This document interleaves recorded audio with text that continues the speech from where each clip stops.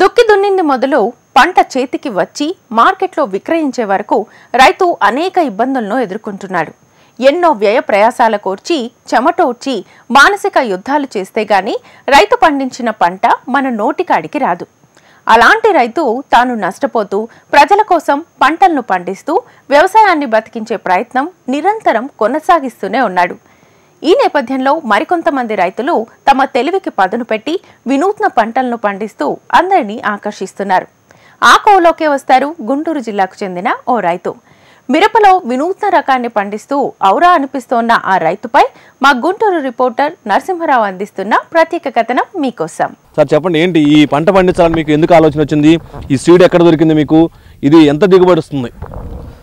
ఇంతకుముందు మామూలుగా red colour మిర్చి చేసేవాళ్ళం సార్ మేము. అది మామూలు దిగుబడి ఎకరా ఇప్పుడు ఎకరాకు ఒక ఇరవై క్వింటాళ్ళు అయింది అనుకోండి ఇరవై వేలు వస్తుంది కింటా ఇదైతేను ఎకరా పదిహేను క్వింటాళ్ళే అవుద్ది అవుతుంది కూడాను. ఇది మేము ముప్పై వేలు వరకు ఉంది. దానికి దీనికి వ్యత్యాసం పదివేలు ఉంది. మేము వేసేటప్పుడు ఫస్ట్లో అయితే స్టార్టింగ్లో మేము మొక్కను కొనుక్కొచ్చేసినప్పుడు అయితేను అరవై నాలుగు వేలు వరకు ఉంది. ఇప్పుడు మార్కెట్ తగ్గింది. ముప్పై రెండు వేలు ముప్పై మూడు వేలు వరకే ఉంది. అలాగే ఈ విత్తనాలు మాకు సీడ్ ఆడ దొరికిందంటేను మల్లాయపాలెంలో మా ఫ్రెండ్ మా రత్నారెడ్డి గారని ఇద్దరం కలిసి వేసాం చెరువు హాఫ్ ఎకరం వేసాం. చెరువు హాఫ్ ఎకరం ఒక ఎకరం వేసాం. అయితే వాళ్ళ బంధువుల ద్వారా వాళ్ళు నారు పోసారు. ఎక్కడ చిలకలూరుపేట దగ్గర బొప్పూళ్ళలో నారు పోసారండి. ఆడ పోయి మేము ఆ నారు మొక్క మూడు రూపాయలు పెట్టుకొని తీసుకొచ్చి నాటాము మామూలు మిరపలకు అయినట్టే పెట్టుబడి అవుతుంది. మామూలు మిరపలకు కొట్టినట్టే పురుగు మందులు కూడా కొట్టాలి. దీనికి ఇంకోటి ఏంటంటే నల్ల తామర పురుగు తక్కువ.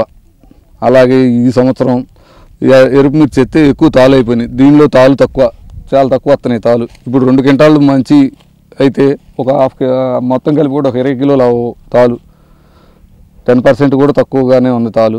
రేటు ఎలా ఉంది? అంతేకాకుండా కూడా ఎన్ని రోజులకు ఒకసారి దీనికి నీళ్ళు పెట్టాలి? ఎన్ని రోజులకు ఒకసారి మందులు కొట్టాలి? కింటాకు ఎంతమంది కూలీలు పడుతున్నారు?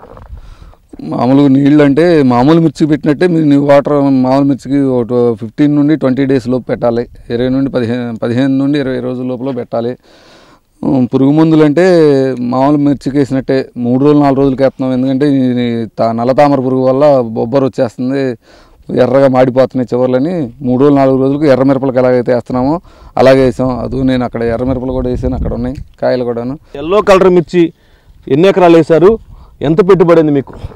ఈ ఎల్లో కలర్ హాఫ్ ఎకరా వేసాం. ఒక డెబ్బై నుండి ఎనభై వేలు పెట్టుబడి అయిందండి ఇప్పటికి నాకు.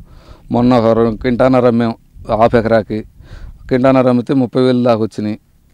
ఇప్పుడు రెండు క్వింటాళ్ళు అవుతాయి. ఇప్పుడు ఒక యాభై వేలు అరవై వేలు దాకా వస్తాయి.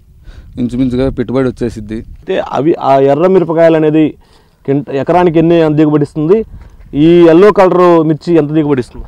ఎర్ర మిరపకాయలు ఎకరాకి ఇరవై నుండి పాతిక క్వింటాళ్ళు అవుతాయండి. ఈ పది నుండి పదిహేను పదిహేను క్వింటాళ్ళు అవుతాయి ఈ సంవత్సరం మేము వేసాం కాబట్టి. నాకు తెలిసిన అనుభవం ఫస్ట్ మేము ఎప్పుడు వేయలేదు ఈ సంవత్సరమే. వేరే వాళ్ళ ద్వారా తీసుకొచ్చేసాము. ఓ పదిహేను క్వింటాళ్ళు ఎకరాకి అవుతాయి ఇప్పుడు ప్రస్తుతానికి. బాగా ఎర్ర మిరపకాయల రేట్ ఎంత ఉంది? ఎల్లో కలర్ మిరపకాయల రేట్ ఎంత ఉంది?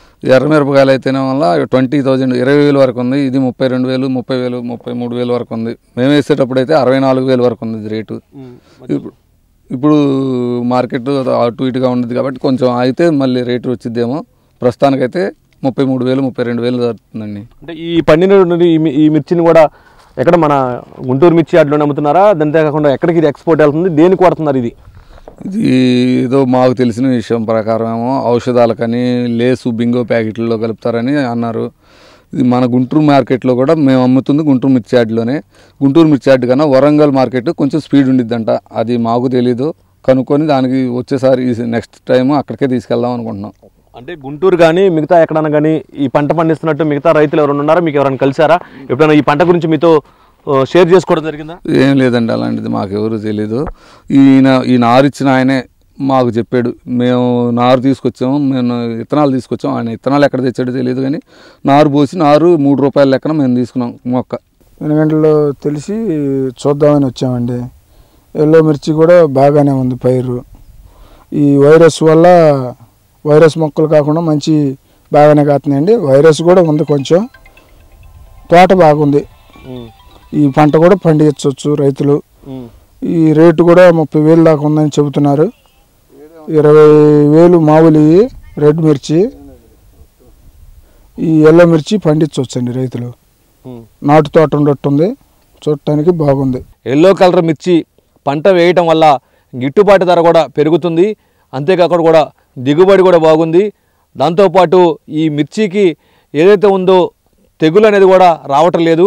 అందరూ కూడా ఈ పంట కూడా వేయాలని చెప్పేసి కూడా ఆయన చెప్పడం జరుగుతుంది. ఒక అరెకరంలో వేశాను. ఈ అరెకరంలోనే పది క్వింటాల వరకు దిగుబడి వస్తుంది. అంతేకాకుండా కూడా ఎర్ర కలర్ మిర్చి కంటే కూడా ఎల్లో కలర్ మిర్చి రేట్ ఎక్కువ ఉందని చెప్పేసి కూడా చెప్తున్నారు. కెమెరామెన్ వంశీతో నరసింహారావు హెచ్ఎం టీవీ గుంటూరు.